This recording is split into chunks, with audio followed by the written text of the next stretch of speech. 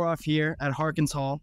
When Providence College first opened its doors in 1919, Harkins was our first and only building on campus. It contained classrooms, a library, a church, as well as common areas for students. Notice the slight curvature on the front face of the building, which is meant to symbolize the open arms of Providence College. That message of welcoming others with open arms is something that Providence has stayed true to even today. It is impressive to reflect on our school and how much it has grown and developed into today. Before Providence first opens its doors in 1919, it had faced obstacles provided by World War I that delayed its opening of the school. Additionally, conflicts like World War I and the Great Depression saw enrollment plummet, causing another obstacle for the school to go to get over.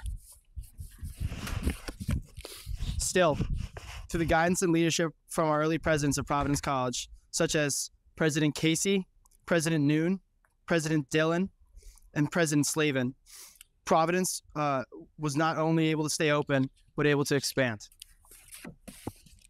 Remember, we talked about welcoming.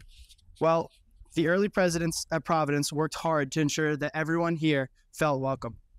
In 1922, Providence President Noon and Providence College welcomed their first full-time Jewish student here at Providence College. Not long after, Providence welcomed its first female student to its summer school program in 1950 under President Slavin. It is because of the leadership and the problem solving of our presidents that we were able to grow our college from 18 to 45 acres, from one building to seven, and to produce over 2,500 alumni by 1947. President Dillon once said, when, the, when in future days the historians record the growth and development of Providence College, the alumni and extension school will appear as uh, important factors. What I'd want to leave you with today is that Dillon, President Dillon, didn't give himself enough credit as the growth and expansion of Providence College was also uh, was also helped by the early presidents here. The Phillips Memorial Library has been a place entrusted with providing resources and a study space for all Providence College students. The library has allowed students a place to grow in their education and academic success individually and with one another in the community. This focus on personal growth and achieving goals through academic success is a trait the first women's class had when they first attended this campus in 1971. The first group of co ed students looked to make their place on campus present through their pursuit of education. Many people doubted their place on campus with statements such as, What do they know? They're only women. But this only proved to motivate them further. Their academic success and goals pushed them to grow as independent women and to find their footing on campus through leadership roles in student government and clubs.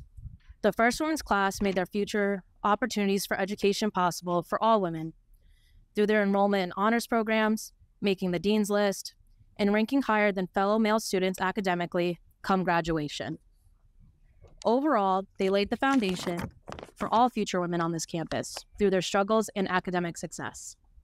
When the first female class arrived on campus on September 7, 1971, the women moved into Aquinas Hall. At the time, it was the only female dorm on campus.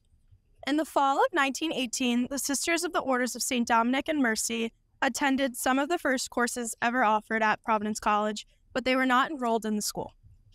Maureen Whelan was the first female admitted to PC and served as the poster co ed for the first female class. She studied humanities while at Providence and even went abroad to Switzerland during her junior year. Dr. Elaine Chaika was the first woman to receive a full time teaching position as a professor of linguistics in 1980. Dr. Chaika attended Rhode Island College and received her PhD from Brown University. Dr. Chaika did lots of research during her time at PC. She mainly did research on schizophrenic speech as well as different American accents, including the Rhode Island accent. Since women being admitted to Providence, there have been lots of firsts, such as Coach Erin Bath becoming the first African American coach in the program's history. Aquinas Hall still houses female students to this day, and half the building now houses male freshmen. Without the first women's class or even the first female faculty member, females on, on campus would not be where they are today or have the opportunities that they do today. All right, so here we have St. Dominic Chapel, one of the many reminders on campus of the friars of old who really um, influenced the Dominican tradition and kind of made it what it is today and how much it influenced our school. There's also Aquinas Hall and various statues of friars around campus. And while it's obviously important to respect the past of the school and the history that made it what it is, I also think we should focus on the friars of today who have not only kept these ideas alive, but have also done so on this very campus. Just a few examples are Father Thomas Ertl, who was a student here and then graduated and got became a priest and spent his time here being a member of the community, actually speaking about the creation of this chapel so long he was here. And also during finals week would carry on a hot dog cart to talk to students and make sure they were well fed for the times to come. There's also Father Quigley, a fellow um, alumni of Providence. He spent his decades here writing not only about what it means to be a priest in this modern time, but also things about, you know, loneliness, hope, and marriage, letters to students to kind of help them understand the world that they're in and the world that'll come once they graduate. And finally, another example we have is Father Thomas McGlynn, who, not an alumni of Providence, did create a lot of the art you see around campus, a statue of Martin de Porres um, over by the koi pond. And his legacy is here in his art and his impact in the art department. And these three are just examples of the many people on the many friars on campus who have kept the tradition of what it means to be a Dominican friar alive. So again, as I said, is incredibly important to remember the old friars who made us who we are, but I also think we should look to today and the friars around us who remind us again and again what it means to be a Dominican. Hi, I'm Logan Kroboth, and uh, my part of the tour is on uh, the purchase of Lower Campus, what used to be before it became the iconic PC Lower Campus. Uh, before it was, uh, before it became incorporated into the college, it was the Providence City Hospital, later renamed to the Chapin Five Hospital. Uh, it uh, treated primarily infectious diseases and things like that up until the year of 1965, when the coinciding of more mo- modern medical technologies uh, led to the uh, disuse of the hospital, and uh, a, commission was called by Governor Charles Chafee um, sorry, John E. Chafee uh, about whether or not uh, the the, uh, the the hospital could be closed, and that 11-person commission found that between the years of 1955 and 1964 use of the hospital's pediatric and communicable diseases departments had decreased significantly, as did its psychiatric care. And so uh, the city realistically moved to, to decommission the hospital. It was around this time, uh, when, in 1968, that the school began to formally lease some of the buildings for uh, dormitories.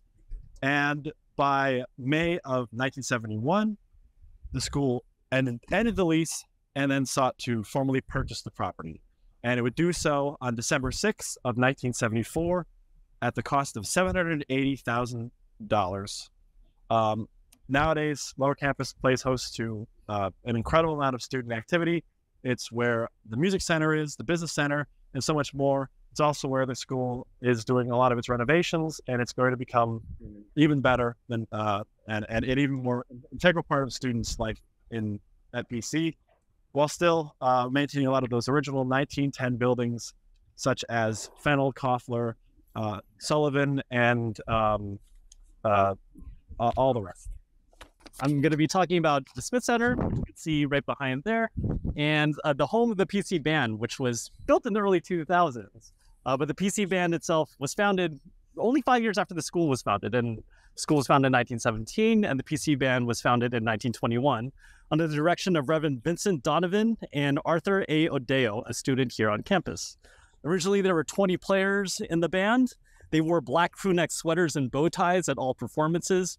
And by World War II, there were 40 players when the school uh, hit pause on the band uh, because of uh, the conflict.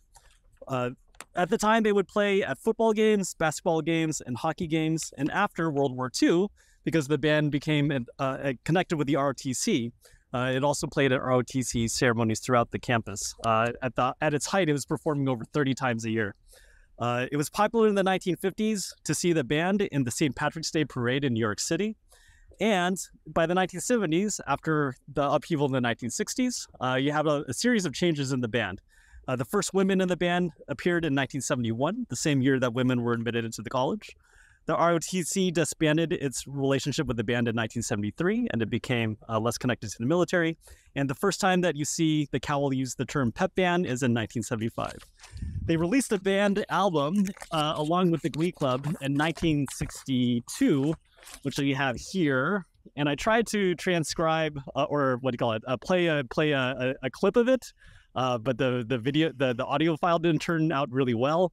But I, as a former uh, marching bandsman myself in college, I was like, we could do better than that. I brought an instrument.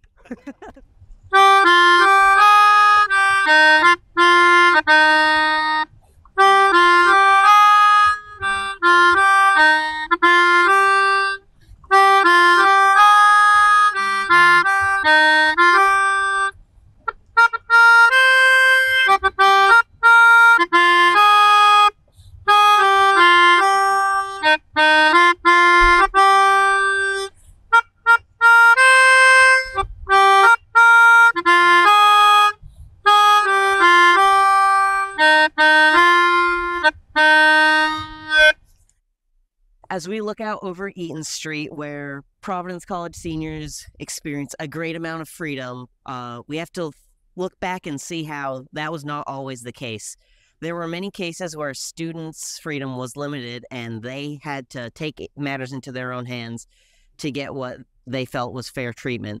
Um, bubbling over from the spring semester of 1969, um, PC students were upset by poor communication between the faculty and student leaders, which led to a walkout from the convocation ceremony on September 27th, 1969, in which 25 students walked out mid ceremony. Um, but that ended up being only the peak of the iceberg for student led protests in the year 1969, as a few weeks later, on October 15th, 1969, Providence College students and faculty took place in the nationwide moratorium day in protest of the Vietnam War. The um, campus activities were canceled, and student and staff alike went out to spread the word about ending the war.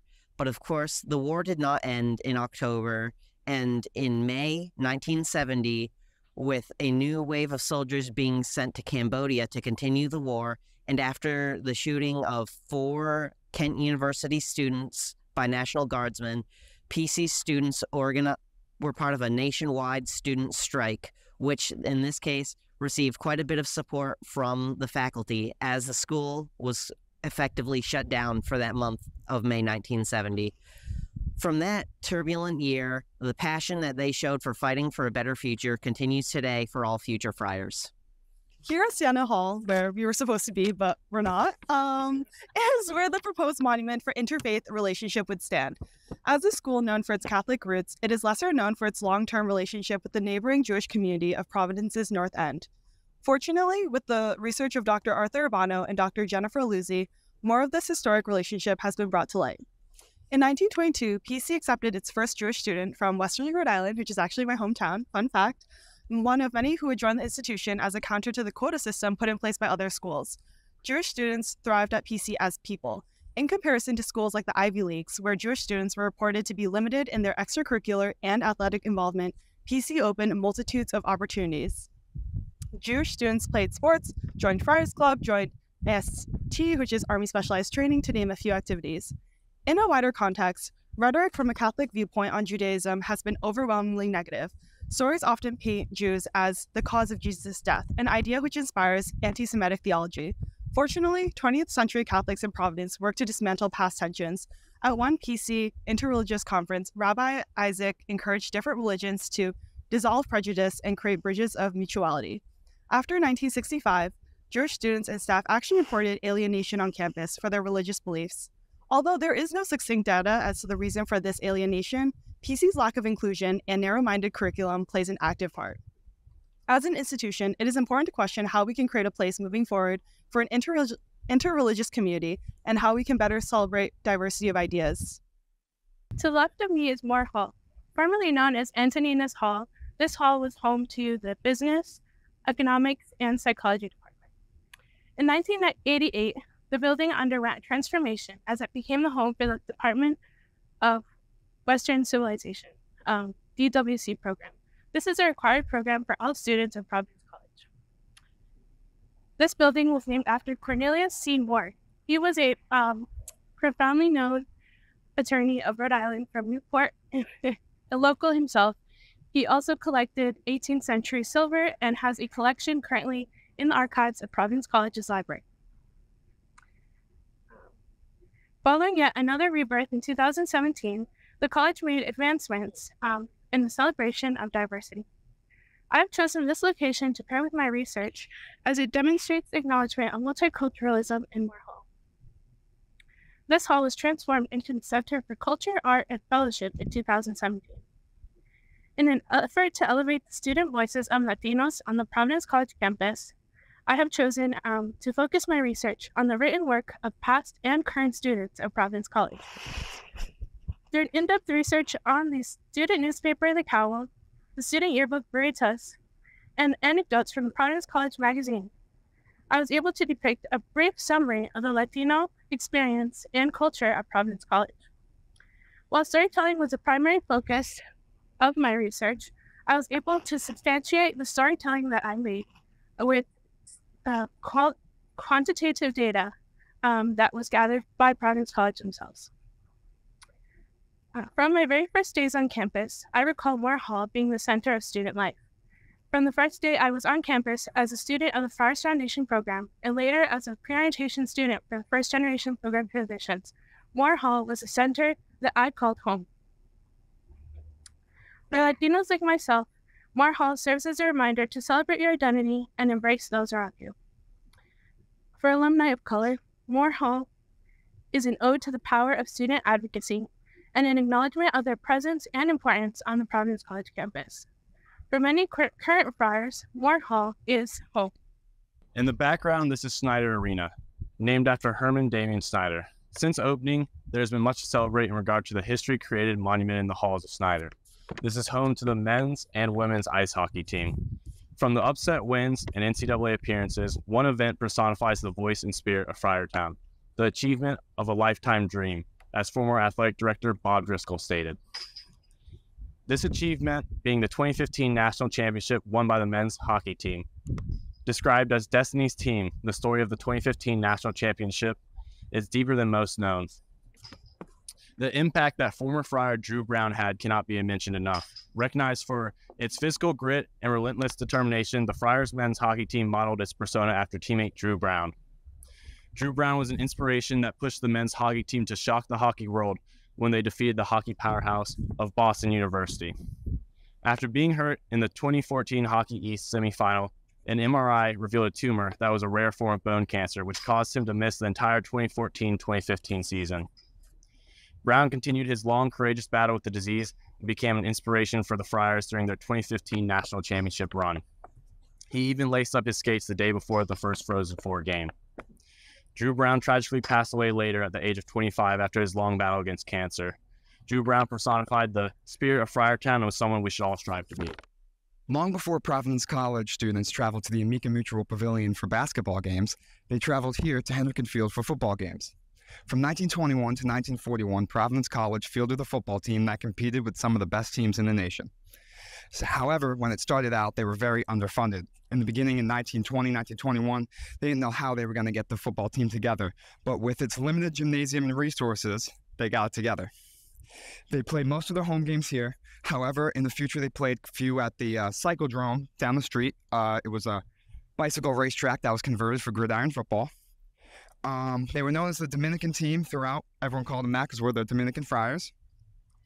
And they rattled off a couple of big wins, like a road win against uh, Rutgers in 1930 in New Brunswick, New Jersey, the home of uh, or the birthplace of college football. Um, five professional football players came through Providence College, um, and the best was Hank Soar, who caught the 1938 um, NFL championship winning pass at the Polo Grounds in New York. And another familiar name that everyone should know or does know at Providence College is Mal Brown, and he also played on the football team. He ended up being a very uh, prominent trainer here as well. but uh, his record on the football team wasn't too good. And with a culmination of World War II, bad luck, and not a lot of wins, they ended up uh, cutting the football program.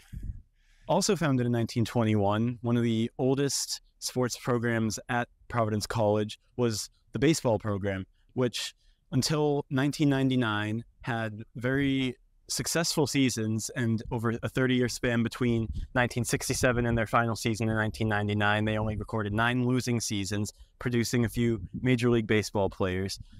Several of those seasons they went on to the college world series regional finals where they were only two wins away from going to the actual national championship in omaha. And in their final season 1999 lost to florida state university who were national runner ups that year. In 1999, though, that was their last season because of a Title IX, uh, sorry, Title IX regulation where they needed to match the amount of scholarship money that was going towards men's sports and women's sports.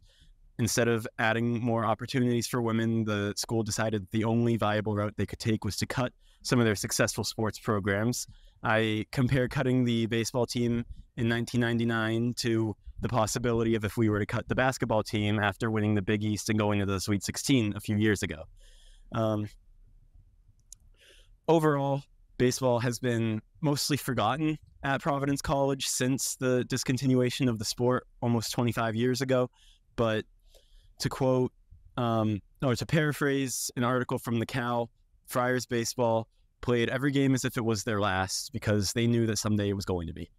Now we end the tour in Slavin, which is the student center. Speaking of students, that is the main community the live Dalmatian mascots served for periods of time from 1935 to 2001. To fill the mascot sized hole in their hearts, PC adopted a new mascot, the scariest one in the country, Friar Dom. To celebrate the school's 100th anniversary, PC added a new mascot to the squad a two legged Dalmatian named Huxley. A friend of mine, Elise from the class of 2022, was Huxley during her time here. She really saw how special Friartown is when students, faculty, and the greater Providence community lit up with joy upon seeing her in costume. Now, the center of the center for students is Dunkin'. This is where Friartown gathers to fuel up with peers, our own friars, and professors alike. Friartown truly runs on Dunkin'. If there is one place on campus that is the home to the Friar community, it is Slavin Lawn and Slavin Center.